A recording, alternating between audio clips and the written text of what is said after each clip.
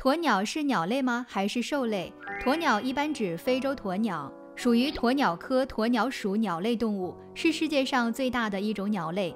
成年鸵鸟体长约为一百八十三到三百厘米，身高二百四到二百八十厘米，体重一百三到一百五十千克，有一张三角形的嘴，躯干粗短，胸骨扁平。